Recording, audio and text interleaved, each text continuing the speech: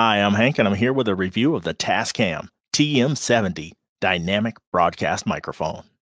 Inside the box, you get a small desk stand, mic cable, a well constructed shock mount, and of course, the microphone itself.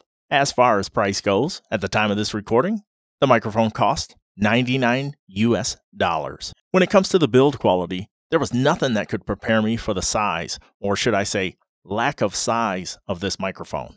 When I looked at the images online, I was expecting a microphone at least on par with the Zoom ZDM1.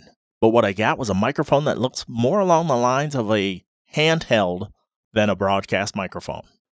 All right, it's time to try the plosive test. I'm back off the mic about four inches. Peter Piper picked a peck of pickled peppers. Let me get a little closer. I'll get into about two inches away. Peter Piper picked a peck of pickled peppers. Really bad. You always want to mitigate plosives by pointing the microphone at the corner of your mouth and then talking across. So you're not getting that wind burst right down the barrel. Let me put on a windscreen since this microphone is so dinky, it can use a ball mic windscreen. Peter Piper picked a peck of pickled peppers. Peter Piper picked a peck of pickled peppers. A little bit better. All right, now I'm going to turn the microphone off axis and we'll see how it does at rejecting my voice. Into the side of the microphone. Now I'm talking into the rear of the microphone. I'm talking into the other side of the microphone.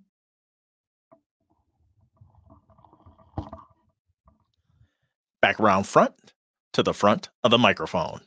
Now I'm going to turn off all processing, including the noise gate, which is going to be scary.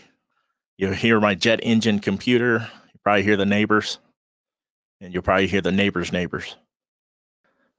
All right, this is what it sounds like with all the processing turned off and the noise gate.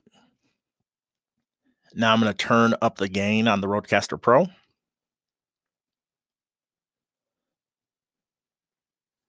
Just over half already. So I'm going to go full tilt and I won't speak.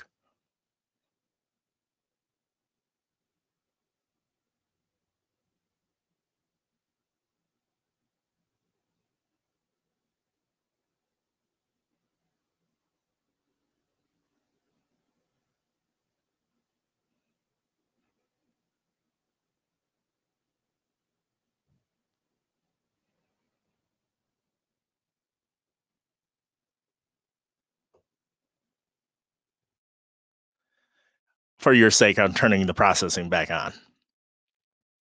My environment is horrible, just so you know.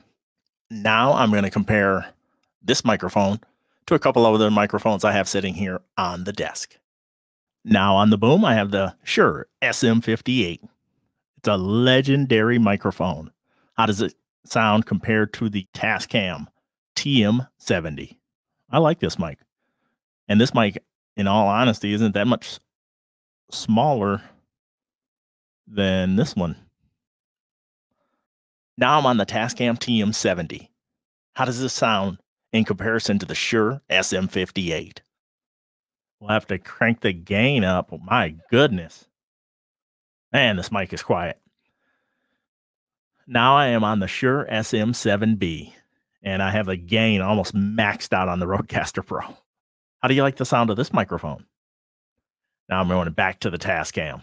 Now I'm back on the Tascam TM70, and this is what it sounds like. As far as the pros, the included shock mount is well constructed. I received several compliments when I used this microphone on several of my podcasts and live streams. Generally, I live stream and podcast with a couple audio engineers and two DJs, so I do take their opinions seriously. The frequency range lends itself for some good post production EQ. The supercardioid pattern helps eliminate room noise.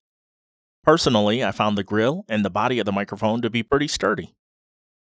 As far as cons, at the sub $100 price point, there are better looking options if what you're going for is a look on stream.